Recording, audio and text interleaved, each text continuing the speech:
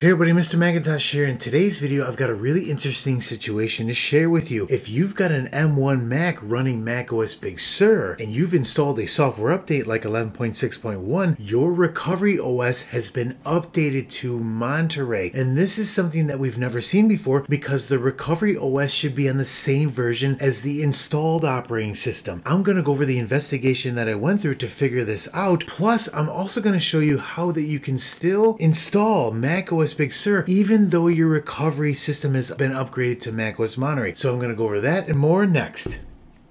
So let's quickly go over how the recovery system works on the M1 Mac. When you boot up by holding down power, it will show you the boot picker and then you'll click on the option key and it'll bring you to macOS recovery. That recovery OS should be on the same version as the installed version of Mac OS in the operating system. So for example, if your M1 Mac is running macOS Big Sur 11.6, then recovery OS will be on 11.6. So when you boot into it, you can check the version and it'll say 11.6. What's changed here is if you install the 11.6.1 update, then you go into recovery and you say, wait a minute, it doesn't say reinstall macOS Big Sur, it says reinstall macOS Monterey. So this is a very interesting situation and it's the first time we've ever seen anything like this before. So let's talk about how we first came up, how this started. A fellow Mac admin put a post in the Mac admins chat that says that if you're on an Intel Mac, you have different versions of macOS recovery that you can boot to over Internet Recovery. For example, the shipping version or the latest available version with different keyboard commands. And then he says, well, wait a minute, what's the equivalent on Apple Silicon M1 Macs? If I'm not ready to move to Monterey, but Recovery is only offering Monterey, what can I do? And the first thing I thought, well, wait a minute, that's not even possible. But if you think about it, it actually is possible. And I show here how that's possible. If you update your M1 Mac to Monterey, it changes Recovery OS to Monterey.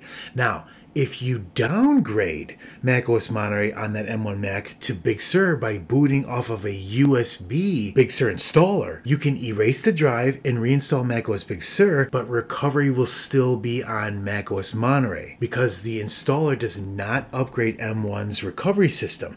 The only way to do that is to boot it into DFU mode and use Apple Configurator 2 to restore with an IPSW. Then the recovery OS is macOS Big Sur, and then the operating system is Big Sur. So that's the only way to bring it back to that way. But he didn't do that. This is a new machine that he just updated to macOS Big Sur 11.6.1 and found this out. At first, I, was thinking to myself, again, how is that even possible? Then a couple other people started to report this. It wasn't just him. So that's when I said, well, we got to look into this and figure out what's going on. I decided to jump in and test this out to see what was going on for myself.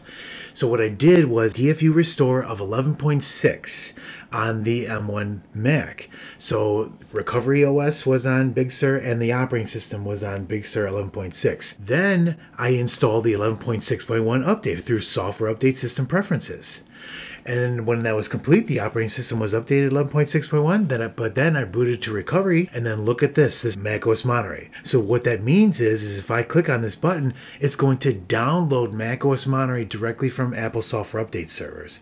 And again, if you want to stay on Big Sur, this is not something that you want to see because you want to just be able to reinstall macOS Big Sur to troubleshoot or erase and keep Big Sur. If you wanted to move to Monterey, you would be able to update from system preferences when you're back in the operating system. So this is a very strange situation. So I did some additional testing. I said, well, wait a minute. So I downloaded the full installer and used the full installer to upgrade from 11.6 to 11.6.1. Same thing macOS recovery was Monterey.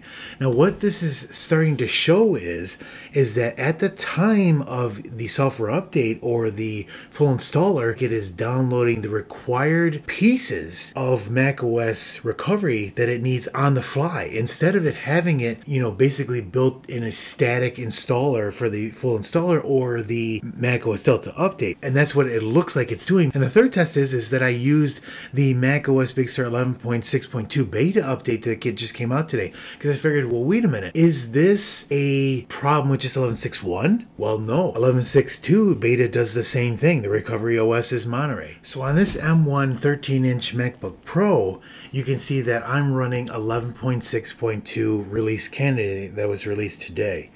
So if we boot back into recovery, we should be on macOS Big Sur Recovery OS 2, but I'll show you what that looks like once we get into recovery. Okay, we're here at the M1 recovery screen. Now we can click on options to boot right into recovery. And as you can see, we are on Mac OS Monterey Recovery. So if we go into Terminal, we can see which version of Mac OS Monterey this machine is actually running. So we can do SW underscore vers and we can see it is running 12.0.1 21A559, which is the initial release of macOS Monterey. So now that we know that, how in the heck can we get macOS Big Sur installed back on this system. And the key here will be creating a Mac OS Big Sur full installer USB. And I'll include a link in the description and above this video on a video to show you how to do that, how to download Mac OS Big Sur, and then create the USB. And once we do that, we'll plug it into this M1 Mac, and then we'll use the recovery boot picker to boot to it.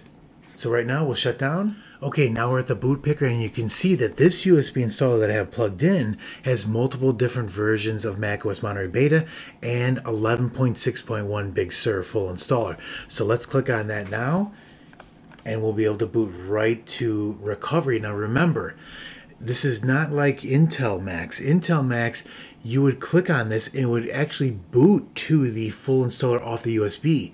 With M1, we're booting to internal recovery first and then running the install macOS Big Sur application inside recovery. Okay, we're in macOS recovery. All we need to do is hit continue and we're brought to the initial installer. But what we're gonna do is we can hit disagree and hit disagree in here and then go back by quitting out of the install macOS Big Sur application. And this is how we, we're gonna be able to see the main menu. As you can see, macOS Big Sur, we can go into disk utility, click on continue.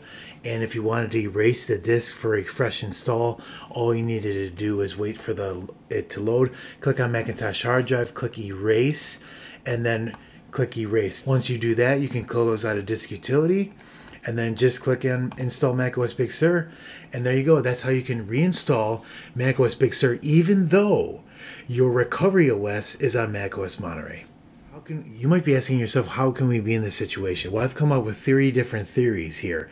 The first one is that this is a bug or a mistake on apple's part. And this is unexpected behavior that we've never seen before and it was a mistake or a bug that was not intended to be this way. The second possibility is that maybe there's a technical reason behind the change.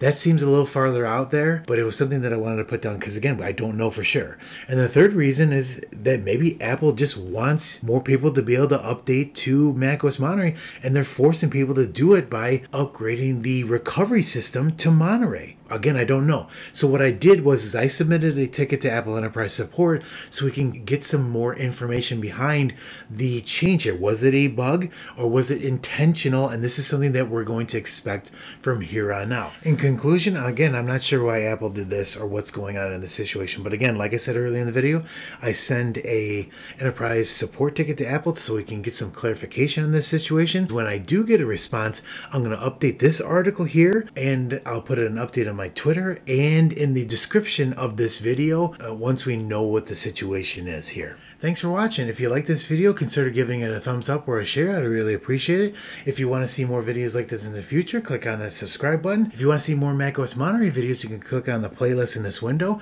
You can also visit my blog at mrmacintosh.com or my Twitter at classic2 underscore Mr. Mac. And if you wanted to support the channel, you can join my Patreon. I wanted to thank the following patron supporters, the Swift Goose YouTube YouTube, the Apple Ninja YouTube, Kato, Fred, Gordon, Harold, and Enrico. Thank you very much, and we'll catch you guys in the next video.